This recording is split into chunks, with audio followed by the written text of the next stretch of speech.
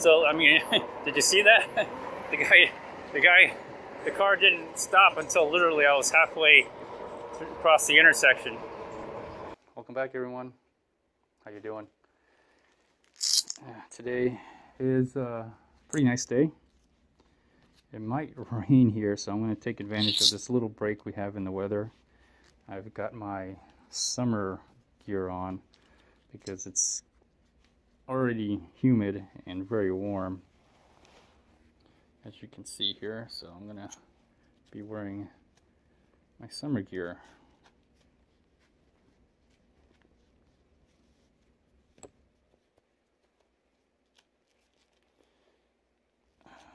So anytime it gets warm and nice and somewhat sunny it's supposed to rain. I got an hour or maybe two hours before it starts raining so I'm going to take advantage I'm going to, I'm going to take advantage of that and go on a nice quick fast run. So this is going to be a quick run around the uh, quick ride. Uh, I will however turn on my rear lights. I'll leave the pannier bag on because it's too much work to take it off uh, uh, oh, you know what? I forgot the battery. I guess I'll be right back. All right, everyone, I'm back. I got the battery. Probably the, one of the most important things on an electric bike, I think. I think it's safe to say that. All right, get that going. Excellent. All right.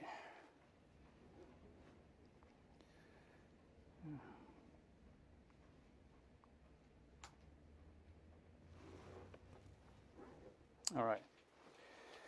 All right, uh, let's get going here.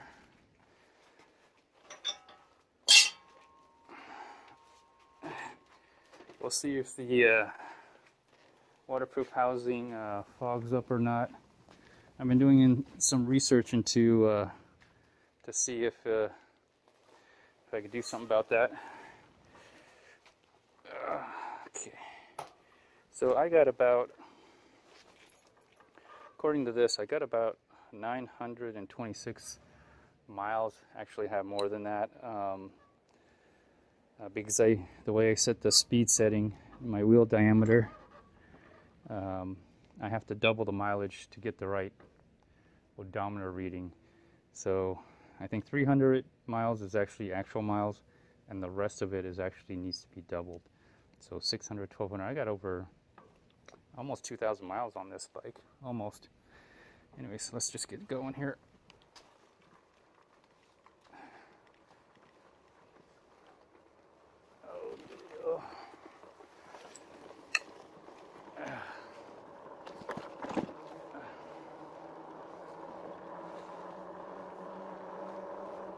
Alright, so where am I going to go today? Uh, today's just going to be a road ride. I didn't bring my backpack in the front. Of course, my emergency kit in the back. I will turn on my lights.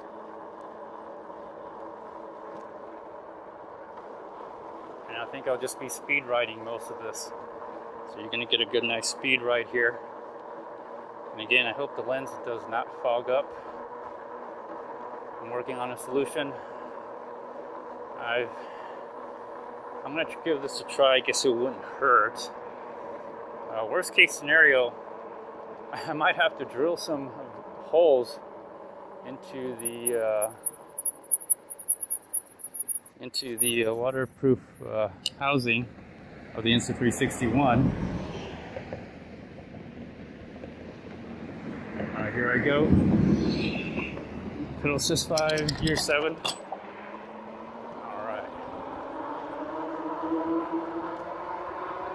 So, worst case scenario,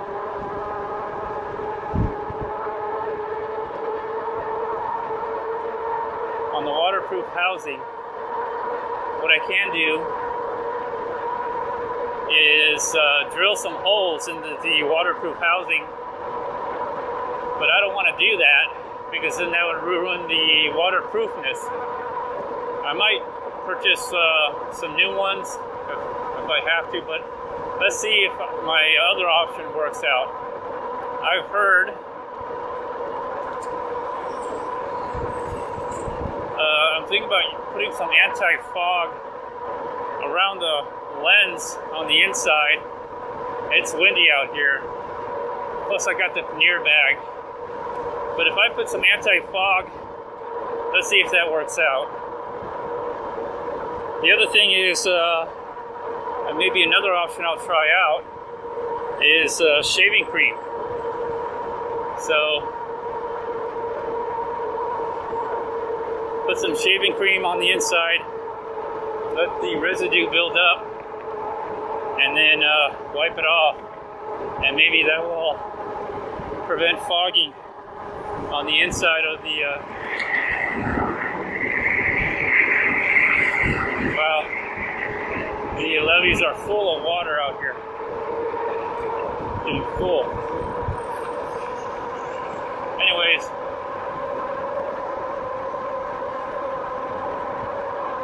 I want to do my quick run,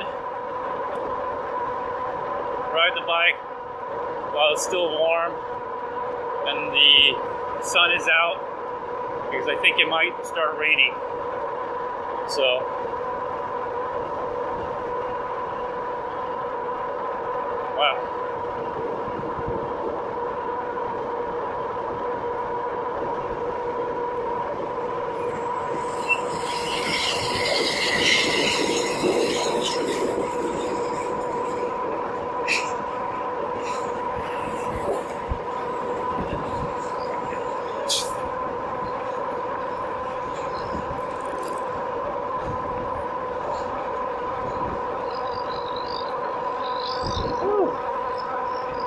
So I recently saw some videos of people who, uh, wow, a lot of wind here. Uh, some people who own, uh, who got their uh, uh, juice bikes, hyper fat juice bikes. I'm actually curious about that because uh, I like to like every guy, I guess, you want more speed, you want more power. And there's some plus and minuses about having more speed and more power. So, the plus side is, well, you go faster. And so, I saw, I saw some videos of, I think, uh, juice bikes, uh, Hyper 1100, and they go up to 30 or maybe even 40 miles an hour, which I think is great if you're riding on a road. But the irony is that uh, you're not allowed to ride those bikes on the road. It's only a private land only. So that's the irony.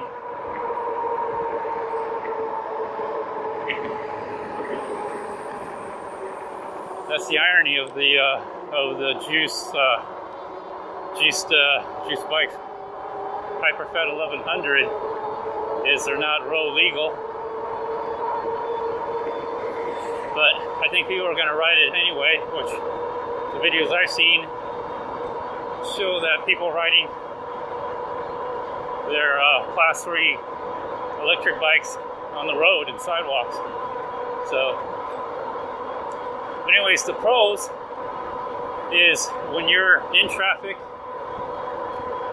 when you're in traffic and you're riding around, that uh, you get to keep up with the traffic, the cars.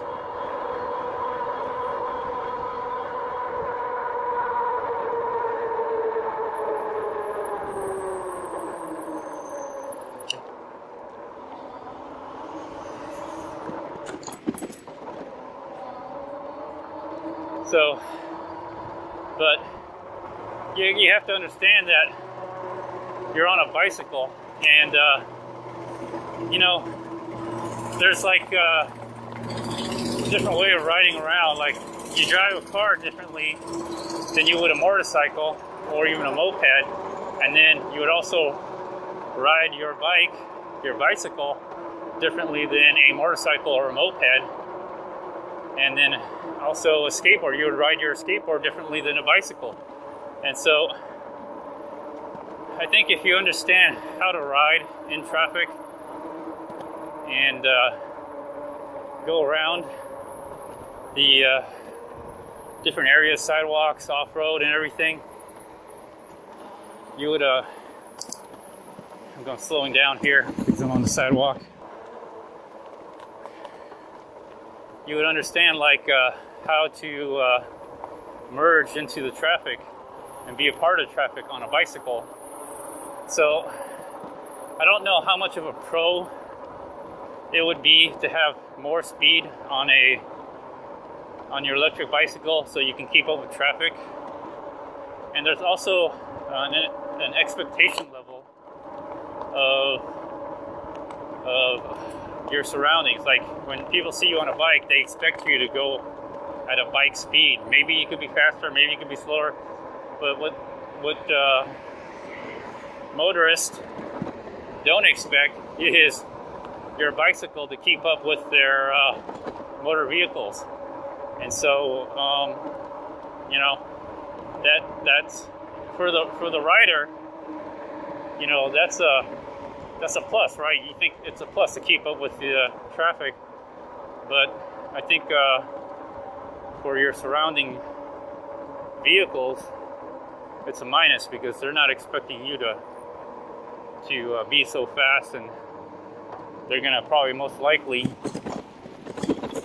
pull out in front of you. Oh, a little wet here. A little wet. Let's slow down. It did rain. I'm just cutting through here. Oh, of. All right, fender's working great. Awesome.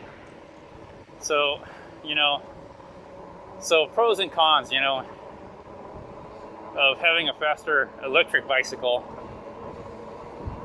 So, I don't. I mean, uh, I'm interested in it because of the speed, but at the same time, is it practical? Is it? Is it? Is it going to put me in danger? Or, or is it going to uh, make me safer? And uh, you know, when a lot of people who ride electric bikes you know, I've, uh, you know, I see them, they're like in sandals or whatever, you know. When someone rides a motorcycle, they, they, uh, they wear, they gear up way differently than someone who rides a bicycle. And, uh, I mean, you, well, depends who's riding, but in general, someone who rides a motorcycle or even a moped, the helmets are even different. So, you know, speed is the uh, the variable. If speed's a variable, then here's something to consider. The faster you go, the chances of a serious injury, and serious meaning like, uh, I would say serious as in a broken bone, to a concussion, to death so you can get a serious injury the faster you go. It is actually exponential. Your, your chances of a serious injury is exponential. And so, uh,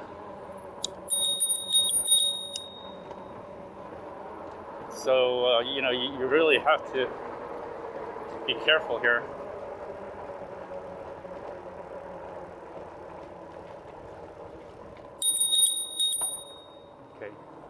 Just making, just sounding off here, make sure, you know, you never know who's coming around that corner. Again, uh, and you have to be aware of other, other people with, with your bike as well. So not only could you injure yourself, you could injure others. So there's, you know, so there's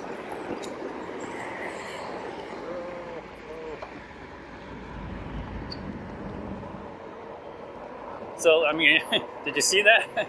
The guy, the guy, the car didn't stop until literally I was halfway across the intersection. So you got to ask yourself: Does is speed? Does going faster make it safer for you? I don't know. Now, nor normally I would take that those hills up there, but I'm not going to do that today. I'm gonna let some of the traffic pass and before we get back on the road here. Seems like a precarious morning already.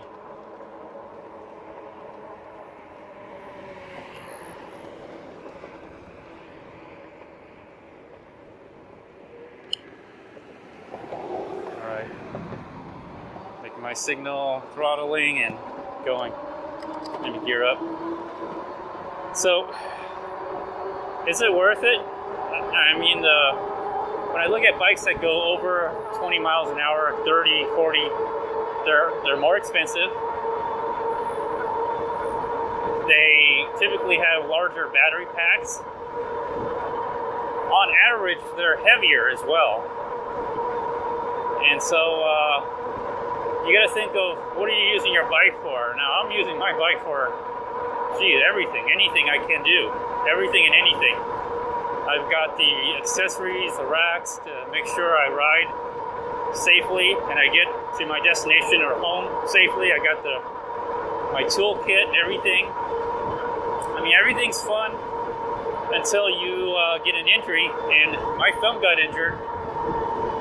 If you seen that video where I, uh,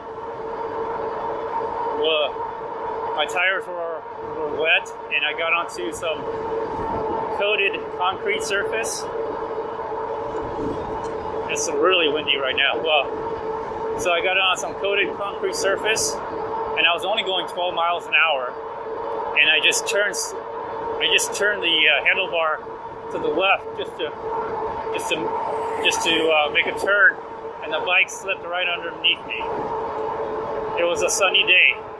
It was I was riding on grass, and that's what got my tires wet in the early morning dew. And then I went onto a, a, a coated or a painted concrete surface, and the bike slid right underneath me. And uh, I'm not 100% recovered. I'm not 100% recovered, but I'm, uh, you know, I'm okay. But the fact is, that little injury, and I, I could survive that. That's 12 miles an hour. I didn't have to go to the hospital, but that injury woke me up. It woke me up. I realized then I know I have an electric bike. I know I'm wearing a helmet. And at the time I was wearing a body armor. My my soft body armor that is a bulletproof body armor. But you can still get injured. That was my wake up call. That was my wake up call. And in a lot of ways, I'm glad that happened because, uh, you know, speed can kill you, even on a bicycle. So don't be, don't be, don't fool yourself. Uh, a lot of a lot of people on bikes get killed, not even going fast. They get killed by cars coming out, uh, people that don't pay attention. They don't have their lights on. They don't have their rear lights on. Nobody sees them. I mean, a, a motorcycle statistic, most accidents that are caused on motorcycles is because another motorist didn't see the motorcycle. It had nothing to do with the motorcyclist. So, you know, take that into consideration when you're you're going fast. Now I know I pedal fast and I test the uh, speed out on the bike, but I'm pedaling. That's my own power. I can't keep up that speed forever. I'm gonna get exhausted because the motor cuts off at a certain point, and then it's all my power and the weight of the bike, the resistance, wind resistance, the weight, slows you down dramatically, especially for this fat tire bike. Especially for this fat tire bike. Oh. So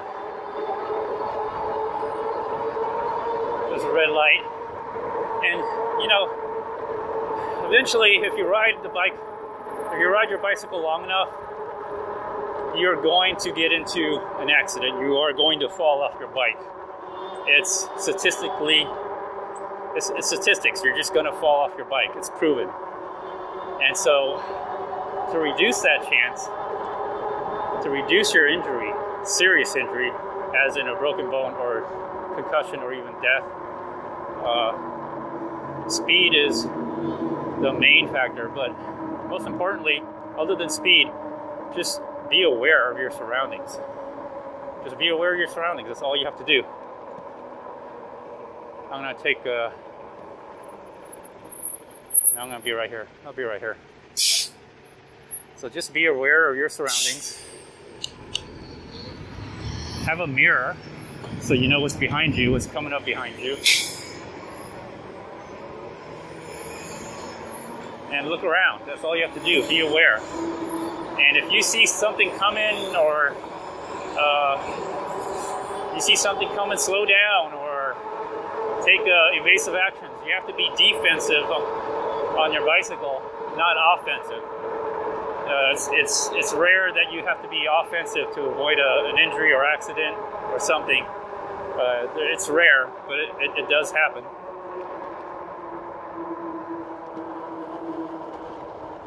It does happen.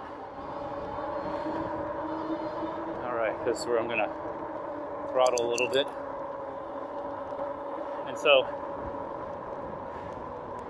and the other thing is uh, uh, know your territory, know your terrain. That's the that's probably the third thing. If you understand the terrain, like when it rains, what part is slippery, when it's dry, what part is uh, okay to go fast, make a turn. Um, understanding your terrain uh, that's probably the third thing to avoid injury and accidents. So, just a, I guess a public service announcement, but but I'm, I'm I am interested in that juice bikes because I don't, I I wouldn't mind the speed, but the other thing is if it's the, the problem I have is like uh, if it's meant for private use, which usually means non-paved road, going at that speed on that bike, 40 miles an hour, 30 on an off-terrain road, I mean, I have a tough time on the RadRover and it goes like maybe 17 miles on full throttle, maybe. I don't usually pedal when I go off-roading.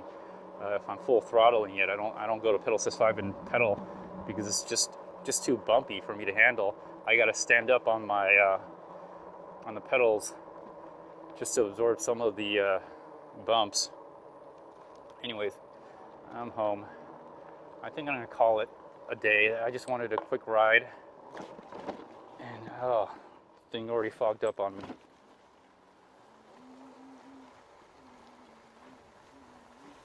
Uh, the front camera already fogged on my. Hopefully the rear camera. Let's see if I can I can do this. Oh, I can't. oh.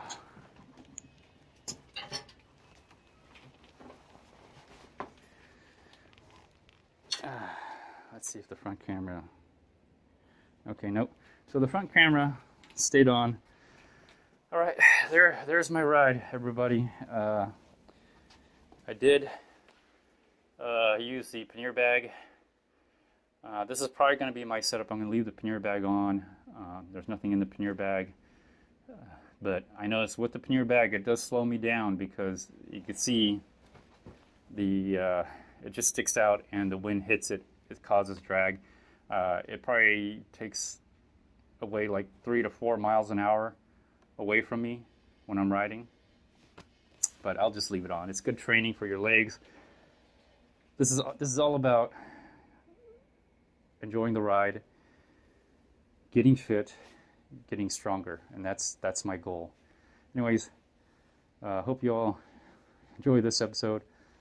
Thumbs up, everyone. See y'all later. Bye.